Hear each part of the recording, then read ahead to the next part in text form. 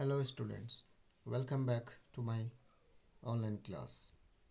In our previous lectures, we have seen that how the author is trying to befriend with the uh, rag picker boys.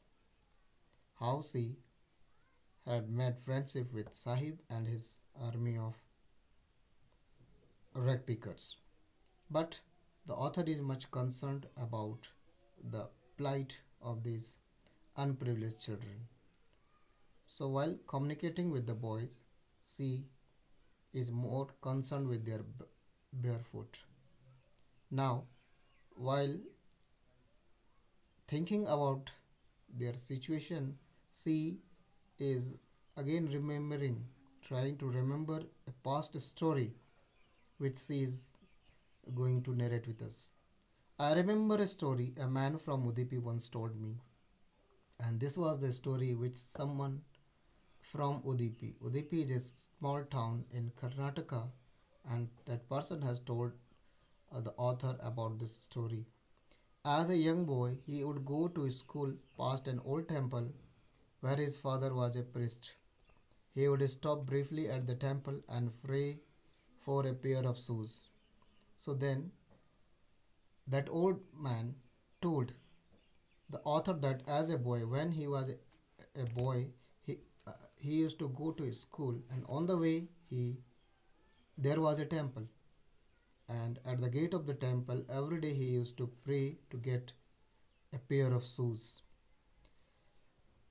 Thirty years later, I visited the town and temple, which was now drowned in an year of desolation. So, after 30 years, when the author revisited the place, she found the environment changing. There was drastic changes in the uh, look, in the environment of the place. In the backyard where lived the new priest, there were, were red and white plastic chairs. Uh, a young boy, dressed in grey uniform, wearing socks and shoes, arrived panting and threw his school bag on the on a folding bed. So when the author reached at the temple, she saw that at the back of the temple, at the backyard of the temple, uh, a new priest has come, and there were colorful plastics all around. And meanwhile, a small boy, well dressed in school uniform, came there, panting, and he threw his bag on the bed and ran away. So thus the author has seen various changes. So, looking at that boy, I remem- remembered the prayer another boy had made to the goddess when he had finally got a pair of shoes. Let me never lose them.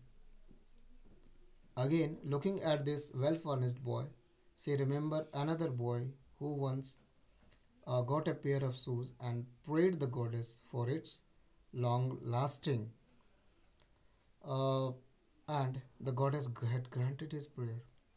And it seemed that definitely the goddess has accepted the innocent boy's prayer.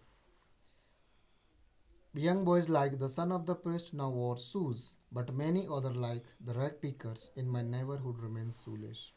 Now the author is just trying to compare the situation of the temple boy who is now having his shoes has increased his standard of living. On the other hand, uh, there were the rag pickers who are still walking barefoot. My acquaintance with the barefoot rag pickers leads me to Seemapuri, a place on the periphery of Delhi, yet miles away from it. Periphery means outskirt, at the boundary. So, as the acquaintance between the boys and the author grew, she was compelled to go to Seemapuri, their dwelling places. So now she said that although the area is very close to uh, Delhi, but it is still miles away in terms of progress and standard of living of the people. Those who live here are squatters who came from Bangladesh back in 1971. Sahib's family is among them. Seemapuri was then a wilderness.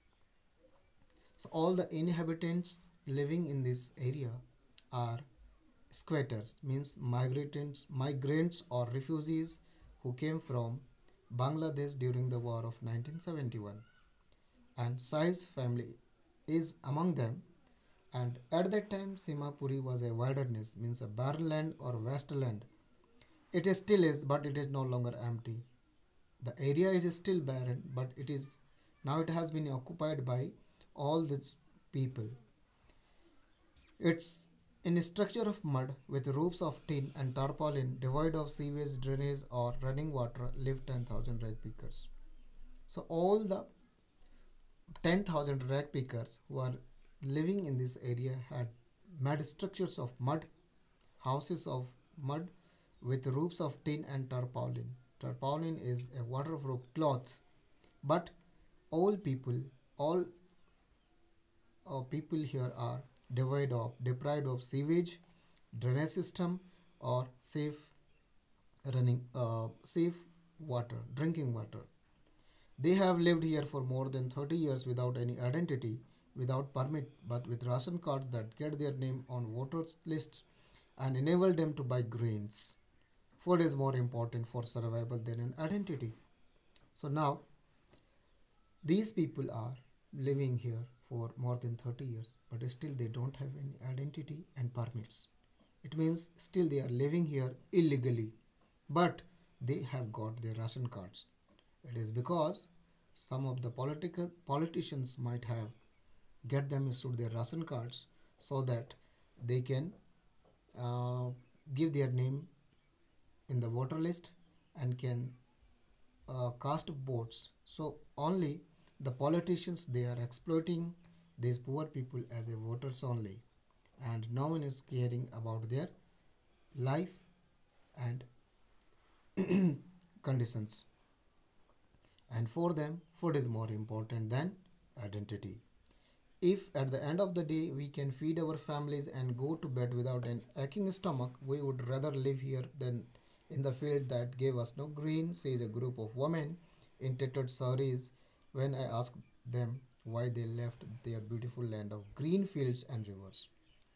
So, when the author asks different women that why they shifted, migrated from their native lands where they have their green meadows, fields, then the woman replied that it is better to have stomach full of food. This place has uh, given us food and livelihood, but our native land, there, due to storms and floods, uh, they have to face uh, large damage, and many times, as a farmer, they have to sleep empty stomach. So they prefer to stay in Delhi than Dhaka. Wherever they find food, they pitch their tents and become transit homes. Children grow up in them, becoming partners in survival. And survival in Seemapuri means rag picking. So, whenever their children grew up as a man, they give their helping hand in collecting food by rag picking or uh, yes the main occupation in that area for these people is only rag picking they don't have any alternatives. Though the years it acquired the proportion of a fine art, garbage to them is gold. It is their daily bread, a roof over their head, even if it a leaking roof, but for a child it is even more.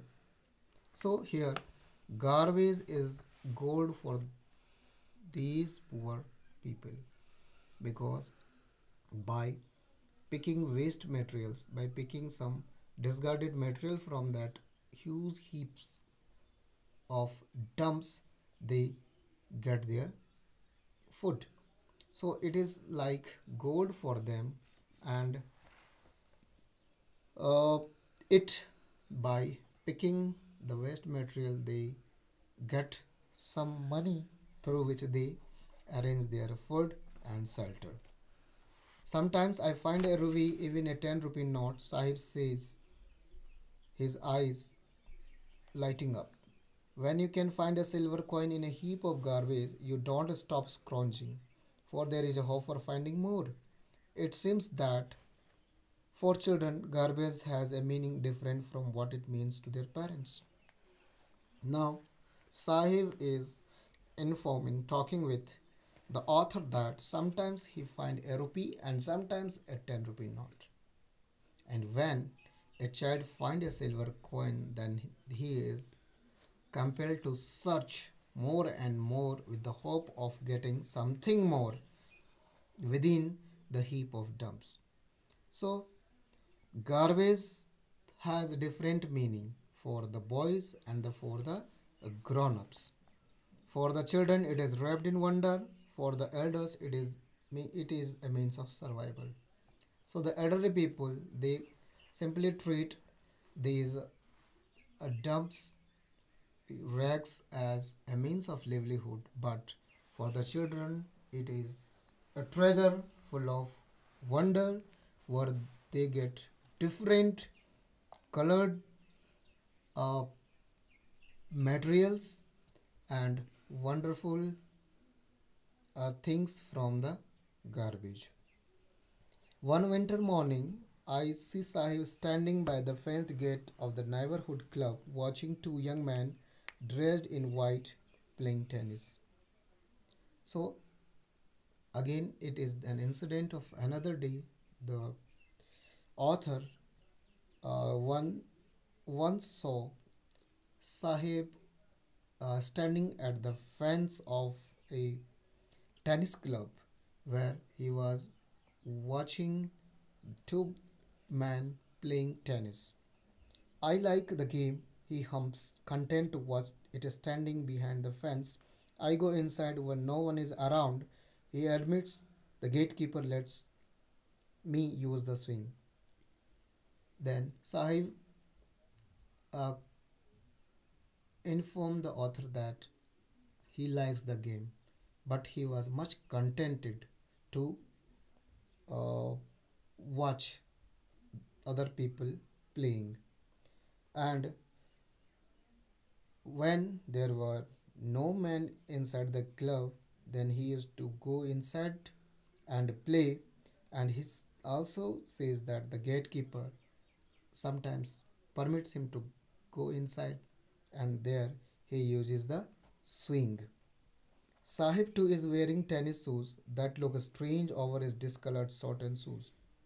Again the next day when author met Sahib he was wearing sports shoes but they were not matching with their with his discolored shorts and shorts. Someone gave them to me, he says, in the manner of an explanation. Then Sahib told the author that someone has gifted it to me. The fact that they are discarded shoes of some rich boy who perhaps refused to wear them because of a hole in one of them and refused to wear them. Uh, for one who has walked barefoot, even shoes with a hole in a dream come true, but the game he is watching so intently is out of his reach.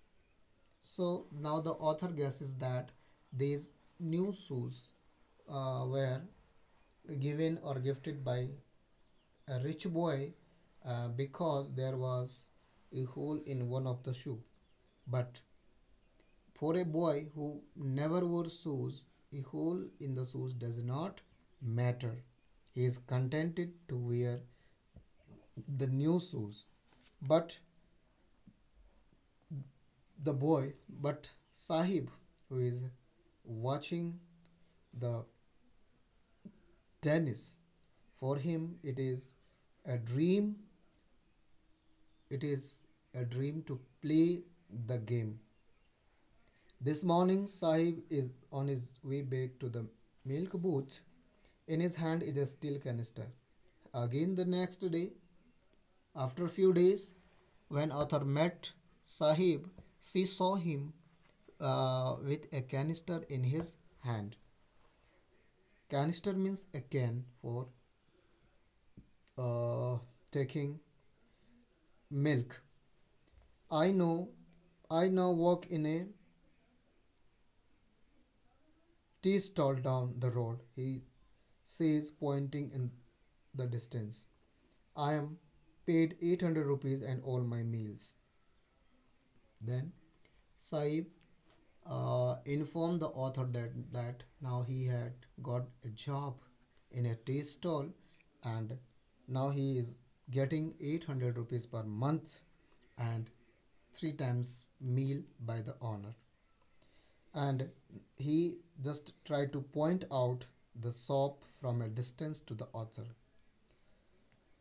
Does he like the job? I asked his face. I see has lost the carefree look but as soon as the author inquired Sahib about whether he liked his new job, whether he is happy with his new job, then she could easily trace the changes, the expressions on his face. His face, I see, has lost the carefree look. So there was anxiety and tension on his face. The steel canister seems heavier than the plastic bag he would carry so lightly over his shoulders. But now that cane, that canister seems to be heavier than the bag full of rags or waste material. The bag was his, the canister belongs to the man who owns the tea shop. Sahib is no longer his own master. So, now what is the difference? Because today that canister is not his own. It belongs to his master. Now today he is working as a servant. But while when he was working as a rag picker he was the owner his he was his own master. And the bag which he used to carry was his own. But today he owned nothing and somehow he has lost his freedom and identity. Today Sahib is not content, not happy with his new job as he is not free. He has to act according to his master. So that's the end of our first part and soon we will give you our uh, next lecture till then Goodbye. Take care.